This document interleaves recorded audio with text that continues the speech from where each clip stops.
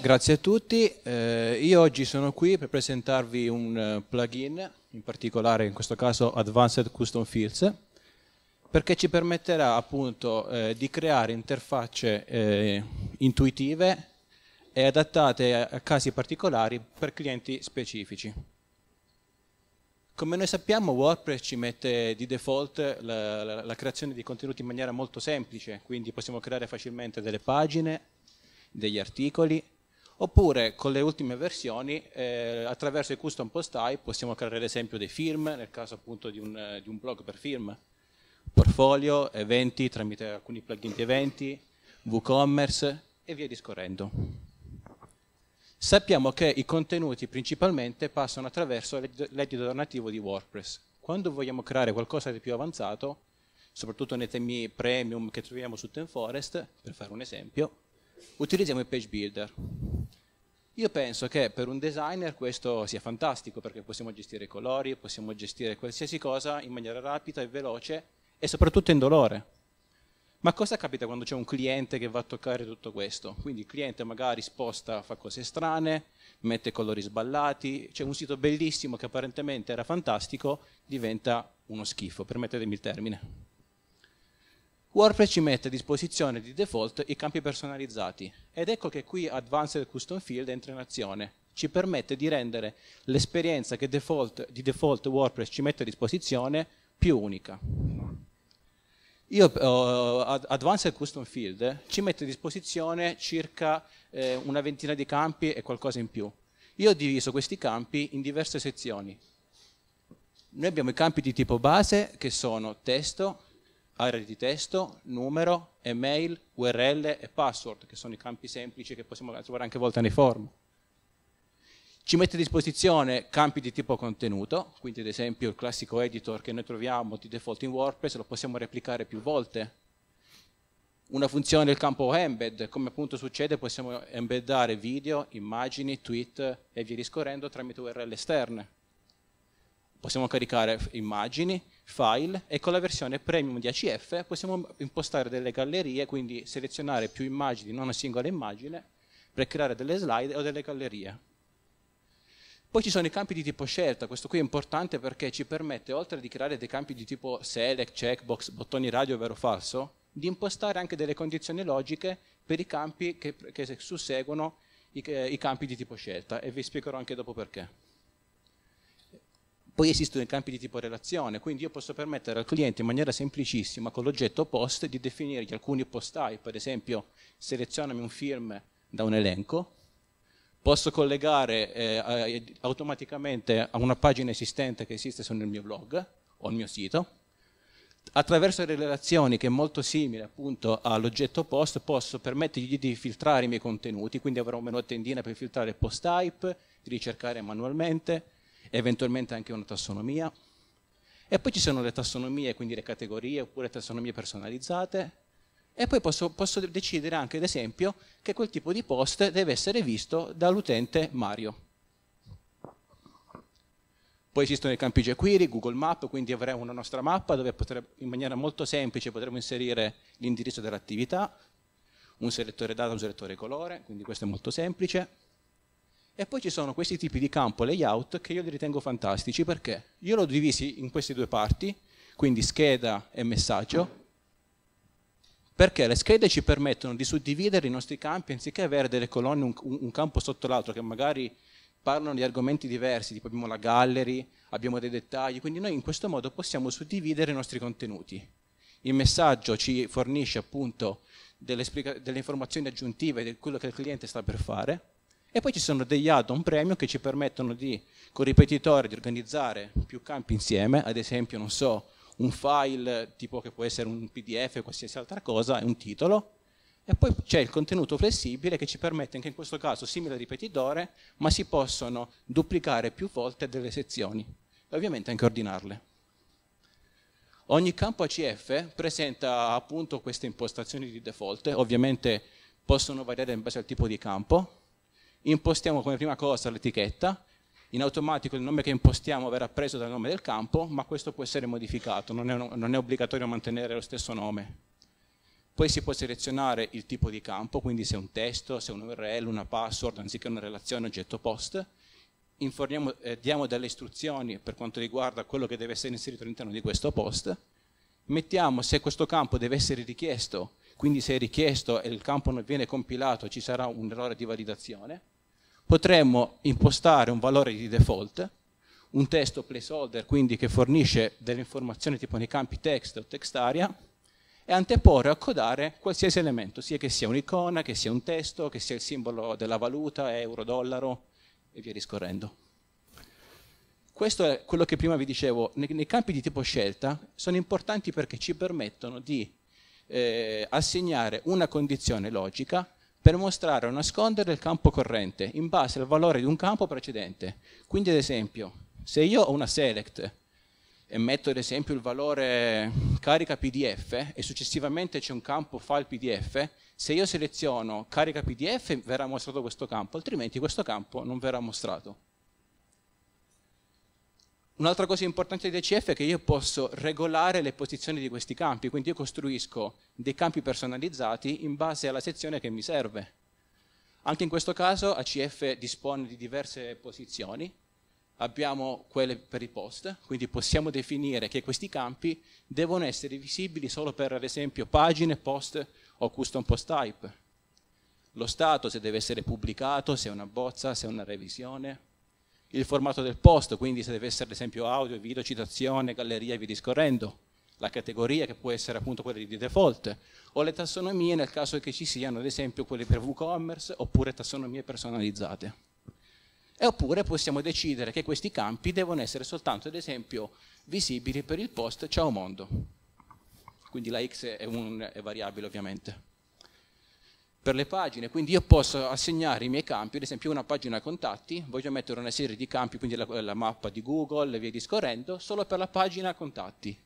Posso definire il tipo di pagina, quindi quando noi impostiamo ad esempio la pagina, questa pagina che cos'è? La pagina principale o la pagina blog? Posso definire anche questo Posso definire di assegnare questi campi se eh, ad esempio quella, questa pagina è genitore di un certo tipo di pagina. E la stessa cosa con la pagina, come, come avviene nel post, io posso decidere se questi campi devono essere ad esempio utilizzati per la pagina servizi. Posso anche definirli per utente, quindi io posso dire se l'utente corrente Mario mostrami questi campi, se il ruolo dell'utente corrente è amministratore mostrami questi campi, se forma utente, quindi quando c'è la registrazione dell'utente, se è per tutte le viste, quindi sia modifica che creazione, solo creazione o solo modifica. L'altra cosa importante è che io posso definire, eh, ad esempio, solo per l'utente, quindi soltanto gli, gli, gli, utenti che sono collegati in quel momento, che sono ad esempio editori, collaboratori o contributori, possono vedere questi campi. Poi per ultimo anche, possiamo legare questi campi personalizzati a una serie di altri post type come gli allegati, le tassonomie, i commenti, quindi possiamo anche aggiungere dei commenti tipo le stelline, quando abbiamo un articolo, vogliamo mettere ad esempio una votazione per il, per il blog, lo possiamo fare. Ci permette in maniera rapida, facilissima, di creare dei widget anche avanzati, perché se voi vedete i campi che mette a disposizione, creare da zero un widget per selezionare post, creare condizioni logiche diventa complesso. ACF ci permette questo facilmente. E poi c'è la pagina eh, opzioni, che è un'altra features eh, della versione Pro, che ci permette di creare dei campi generici che possono essere inseriti in qualsiasi parte del nostro template, quindi la pagina del footer, leader e via discorrendo. Quindi cosa succede? Noi possiamo, una volta che abbiamo visto le posizioni, noi non siamo obbligati a dare una singola posizione. Io ho fatto due esempi. Possiamo ad esempio mettere il tipo di post se è film e contemporaneamente che è film, ma l'utente corrente deve essere un amministratore, altrimenti i campi che io sto creando non sono visibili. Ci sono impostazioni aggiuntive, queste sono abbastanza facili, standard, andrò veloce, quindi possiamo definire se questo gruppo deve essere attivo o meno, perché io posso crearlo, ma renderlo momentaneamente non disponibile definire lo stile, se deve seguire il metabox di WordPress oppure no, la posizione, quindi delle etichette, delle istruzioni, definire un ordinamento, questo è importante perché se io ad esempio assegno diversi gruppi a una pagina, io tramite l'ordinamento crescente posso dire mostrami questo prima, mostrami quest'altro dopo. Poi ci sono le descrizioni, che è una descrizione generica che appunto è una cosa nostra personale che ci aiuta a capire che cosa stiamo facendo. L'ultima cosa, e io la ritengo anche importante, possiamo nascondere degli elementi tipo MetaVox, appunto, ad esempio negli articoli. Io ho aggiunto dei, dei, campi tassonomie, perché ad esempio magari la nostra tassonomia di default per il cliente non è chiara, non gli piace, io decido di nascondere appunto la MetaBox categoria e utilizzo l'inserimento di categorie attraverso ACF. Vediamo adesso un esempio, perché abbiamo parlato di campi, ma com'è, com che avviene poi realmente l'inserimento? Io ho fatto un esempio appunto creando un custom post type film, dove ho definito delle schede, quindi abbiamo dettagli film, eh, gallery e video. Sotto di questi ci sono diversi campi, quindi quando il film è uscito, la categoria, quindi in questo caso io non uso il beta box di WordPress, ma utilizzo quello di ACF, gli attori, le informazioni aggiuntive e i dettagli aggiuntivi, attenzione, io qui sto usando una condizione logica, è un valore booleano vero o falso, quindi se informazioni aggiuntive sarà flaggato mi verrà mostrato dettagli aggiuntivi, altrimenti questo campo non verrà mostrato andrò a definire che questi campi devono essere soltanto per i, per i post type film e questa sarà la schermata di come noi vedremo il nostro post type quando andremo a creare o modificare appunto un contenuto di tipo film. Quindi ci saranno i dettagli film, la gallery e il video. Questi sono, sono alcuni esempi ovviamente di come si mostrano i campi. Per richiamare, ovviamente ACF, eh, essendo un plugin molto avanzato, non, non, va in automatico a generare quello che noi abbiamo creato, ma bisogna richiamare i nostri campi tramite delle funzioni integrate che ACF mette a disposizione. Per fare questo all'interno del loop si inserisce la funzione theField e metteremo il nome del campo che abbiamo assegnato per ogni nostro campo.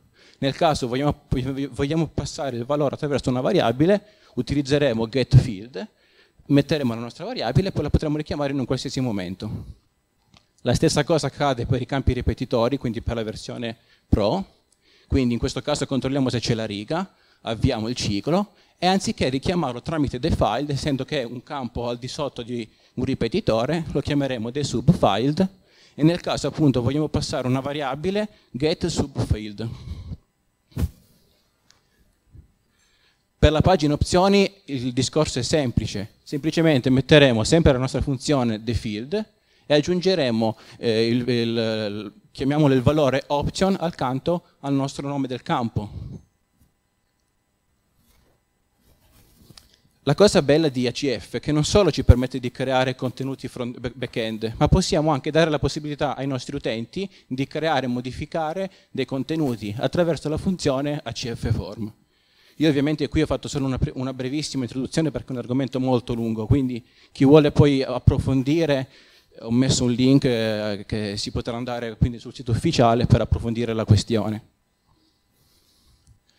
E l'ultima cosa importante, che oggi si è parlato anche di sicurezza, ACF ci mette a disposizione un, una funzione basilare, perché ovviamente si può fare di meglio, quindi si può andare a sanificare, quindi a sfuggire a ogni tipo di campo, sia che sia URL, text o text area, Tramite questa funzione eh, lui utilizza appunto il valore che utilizza il nostro editor nativo di WordPress quando inseriamo dei campi, quindi nel caso se sia JavaScript in questo modo viene ignorato. Quindi gli utenti che inseriscono delle forme front-end in questo modo abbiamo una piccola, fra virgolette, sicurezza di non incorrere in, in, in, in cose comunque, eh, come posso dire, tipo dei malware o via discorrendo gli strumenti che ci mette a disposizione possiamo infine sincronizzare i campi tramite il file JSON, possiamo esportare il nostro PHP da inserire nel nostro template, ad esempio se lo volessimo rivendere in un marketplace personale o anche comunque eh, esterno, e possiamo infine esportare i nostri campi personalizzati e importarli in diverse installazioni WordPress. Quindi se io ad esempio faccio un, il mio tema per il panettiere, un esempio stupido, io potrei ad esempio esportare queste, anziché ogni volta ricrearli ogni, ogni, in ogni installazione, io mi prendo questi campi e li vado a inserire in una nuova installazione.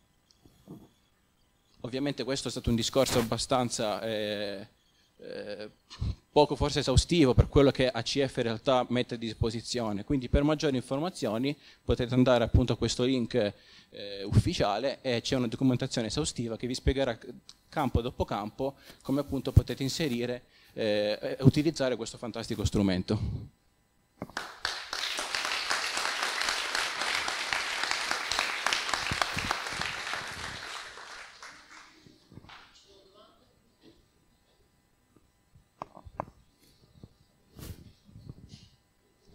Ciao Davide, ehm, ti volevo chiedere, tutti questi facilities di programmazione che stanno facendo per, eh, ACF ad esempio, ma anche CMB che io utilizzo al posto di ACF, sembrano diventare veramente obsolete tra poco eh, con le API, Fields API che sta aggiungendo WordPress. Come ti pensi di muovere tu che ne fai tanto uso nei tuoi lavori eh, per migrare questa roba in futuro? E come ti stai muovendo, insomma, organizzando? Allora, questa è sicuramente una domanda molto importante.